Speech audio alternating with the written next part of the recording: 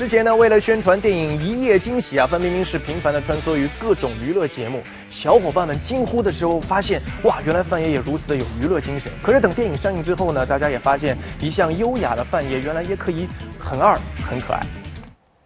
看到我们的那个嗯预告片，或者看到好多花絮里面，我就觉得哎，好二啊！那个那个女的是谁呀？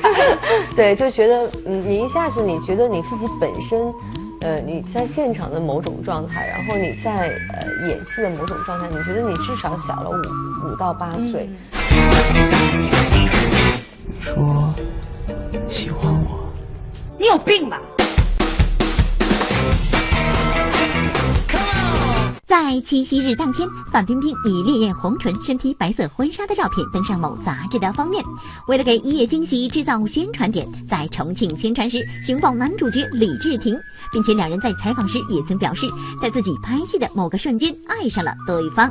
有一场戏，嗯，拍米雪家的时候，说我走了，然后两个人很近，然后那个东西是非常非常深情的东西。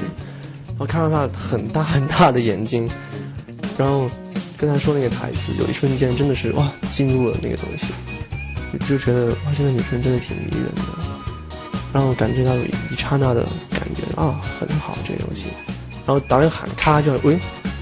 就那种感觉。尽管在每一站的宣传中都会有媒体撮合男女双方，但范冰冰总是会以大胆的玩笑结束话题，还自称自己与女主角一样具备二的特质，甚至在做客某节目宣传时也打出“当女神变为女神经病”的宣传语。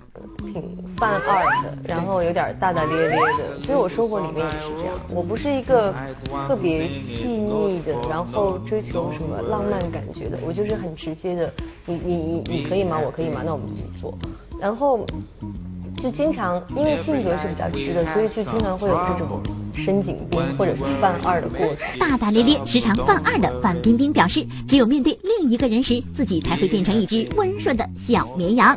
我一直是被我妈降住的，我觉得一直就没有逃出她的魔掌，所以我觉得到到你看我到今天为止，我觉得我都没有敢有勇气跟我妈说，你让我做的事情我已经做完，现在我要为我自己，我不敢。然后我其实，在私底下无数次的想了很多次，包括我有的时候躺在床上睡觉之前，我都要想我要反抗，可是你一看到他的脸，就觉得，哎，算了，吧忍忍再说吧。